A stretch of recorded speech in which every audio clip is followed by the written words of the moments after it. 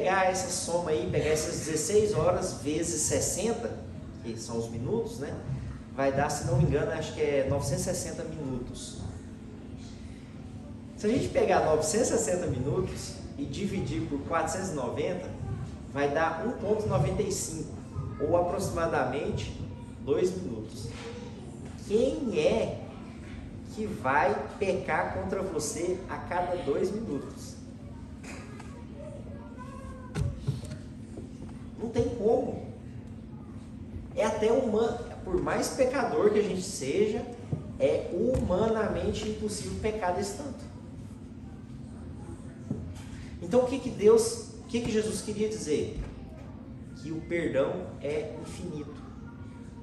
É infinitamente proporcional à quantidade de vezes que o nosso próximo errar contra nós. É infinitamente proporcional à quantidade de vezes que você for ofendido. Para para pensar na vida de vocês. Olha para dentro de você e analisa a quantidade de vezes que você magoa Deus. Olha para você e fala assim: Danilo, você não tem vergonha na cara, não? De continuar fazendo o que você faz? Se Deus é tão bondoso e misericordioso de nos perdoar, que direito eu tenho de não perdoar aqueles que convivem comigo diariamente? Que direito eu tenho de não perdoar as pessoas que estão comigo, que convivem comigo, que me magoam, que me ofendem, que falam algo que eu não me sinto bem?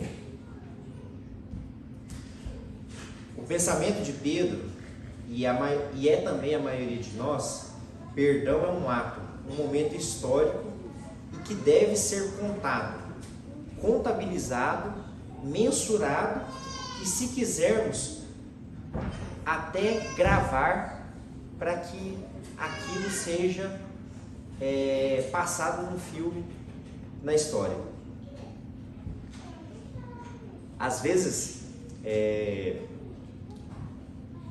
Algumas pessoas até falam assim, não, não, fala de novo. Deixa eu gravar aqui para poder é, cobrar de você no futuro.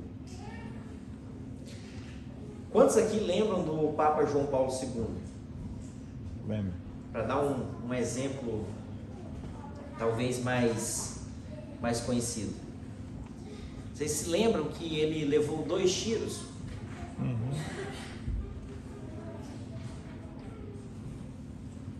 no dia, tá até próximo, né? Olha só, até coincidência, dia 13 de maio de 1980, ele foi alvejado com dois tiros por um terrorista turco chamado Ali Akikar.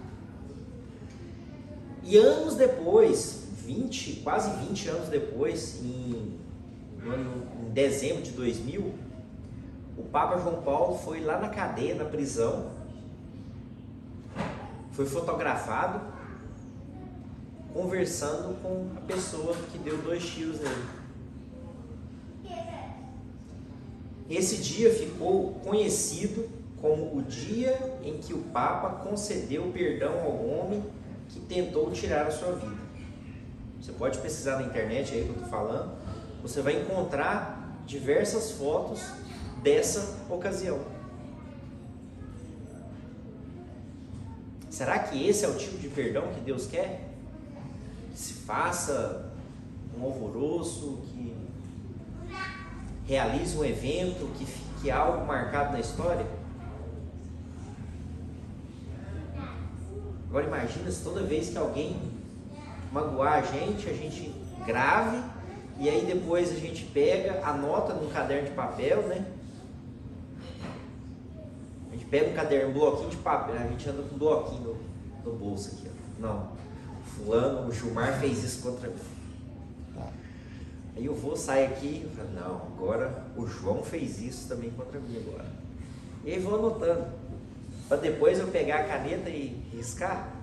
Aí eu faço, não, vou fazer, mas é o seguinte. Tirar umas fotos aqui.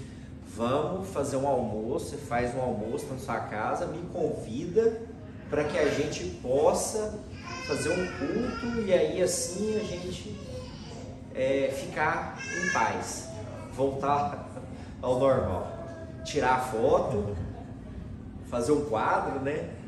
Mas e aí depois? Se o Gilmar pegar e passar dois dias, o Gilmar pegar e se entender comigo novamente, vai ter que fazer outro almoço? Bem, é bom comer, né? Ir lá na casa do Gilmar, almoçar e tal, mas precisa de tudo isso. Isso, isso que Jesus é, é, queria ensinar para Pedro é que não deveria agir como os escribas e fariseus da época, né? Que faziam, abriam os braços, gesticulavam e falavam: Oh, estou perdoando Fulano, isso, isso, aquilo outro. Essa não é a intenção de Jesus. Perdão deve ser algo simples. Para você pedir perdão a Deus, você só tem que fechar os olhos e pedir perdão a Deus, pedir misericórdia.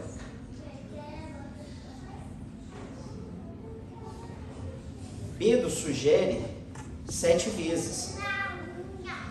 A gente sabendo, a gente estudando o, o, os costumes da época, né? Os fariseus falavam que era só três vezes. Mas Pedro assim falou, não, sou superior a eles, né? Que eu ando com Jesus, sou um discípulo, fui escolhido para ser um dos discípulos de Jesus, então é sete Jesus. Ele perguntou, né? Quantas, Jesus, quantas vezes eu devo, é, é, no texto aí, né?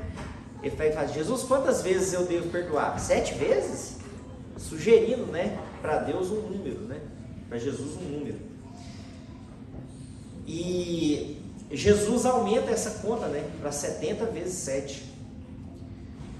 Quando Cristo responde, dá essa resposta, Jesus joga o perdão para uma outra dimensão. Não precisamos ser muito bons de matemática, como eu falei agora há pouco, para vermos que é impossível perdoar uma pessoa 490 vezes durante um dia. Não dá tempo. Não dá tempo de perdoar uma pessoa tantas vezes assim. E não dá tempo da pessoa te magoar tantas vezes assim no dia.